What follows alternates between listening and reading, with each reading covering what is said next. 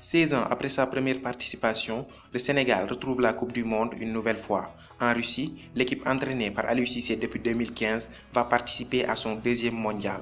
En 2002, pour sa première expérience en Coupe du Monde, les Lions de la Teranga avaient créé la surprise en battant lors du match d'ouverture la France, championne du monde en 98 et vainqueur de l'Euro en 2000. Par la suite, le Sénégal avait atteint les quarts de finale avant d'être éliminé par la Turquie d'Ilan Mansis. C'est la meilleure performance de son histoire. En Afrique, le Sénégal présente un palmarès vierge mais a été finaliste de la Cannes en 2002 et demi-finaliste en 1990 et 2006. Au classement FIFA, les Lions de la Teranga pointent à la 24e place. Logé dans le même groupe que le Burkina Faso, le Cap-Vert et l'Afrique du Sud, le Sénégal débute les éliminatoires avec une victoire assez convaincante face au Cap-Vert 2 buts à 0, des réalisations signées Keita Baldé et Moussa Sow.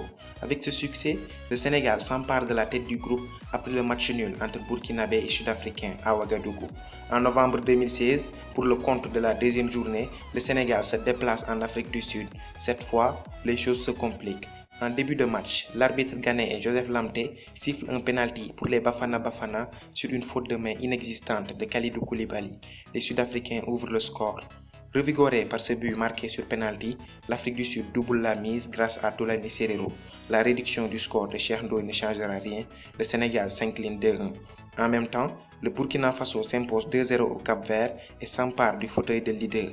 Le 2 septembre 2017, les Lions de la Teranga sont tenus en échec par les étalons du Burkina Faso, un score nul et vierge. Le doute commence alors à s'installer. Trois jours plus tard à Ouagadougou, le Sénégal compromet ses chances de qualification en concédant un match nul deux buts partout face au Burkina Faso qui conserve sa place de leader. Les Lions de la Teranga n'ont plus leur destin en main. Le 7 septembre 2017, un événement inattendu change la donne. La FIFA décide de faire rejouer le match Afrique du Sud-Sénégal à cause d'une manipulation de résultats opérée par l'arbitre Joseph Lamté qui sera suspendu à vie.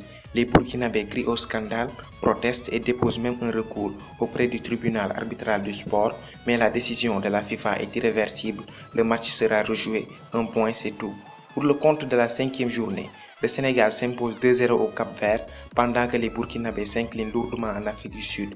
Les Lions se rapprochent de plus en plus de la Russie. Lors du match à rejouer face au Bafana Bafana, le Sénégal l'emporte 2-0 à Polokwane et composte son ticket pour la Russie.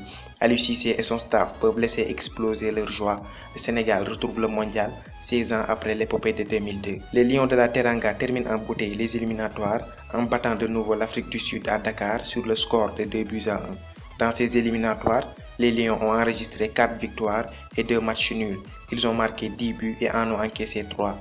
Le meilleur buteur des éliminatoires côté sénégalais se nomme Diafra Saho avec 2 buts.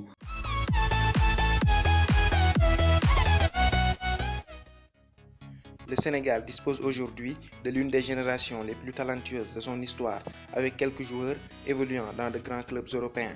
Son maître à jouer, c'est Sadio Mané de Liverpool. Même si son rendement est souvent critiqué en sélection, l'attaquant des Reds s'affirme depuis des années comme un élément incontournable du dispositif d'Aliou Cissé. Il compte 14 buts pour une cinquantaine de sélections avec le Sénégal. À ses côtés, son compère d'attaque, le virevoltant attaquant de l'AS Monaco Keita Baldé. Il y a aussi Idrissa Gana Gueye d'Everton, un milieu box-to-box au profil similaire à celui de N'Golo Kanté. Il est considéré par beaucoup d'observateurs du football anglais comme l'une des références au poste de milieu défensif en Premier League. Au milieu de terrain, il est souvent associé au capitaine Cheikh Kouyaté de West Ham, qui est un véritable taulier en sélection. En défense, les Lions de la Teranga peuvent compter sur l'excellent Khalidou Koulibaly du Napoli, considéré comme l'un des meilleurs défenseurs au monde. Il est pisté par de grosses écuries du football européen comme le FC Barcelone. Associé en équipe nationale au défenseur central d'Anderlecht Karamboj, il forme l'une des meilleures paires axiales en Afrique. Sans oublier le très prometteur Ismaël Sarr du Stade Rennais. Rapide, dribbleur et technique, il est considéré comme la future star des Lions de la Teranga.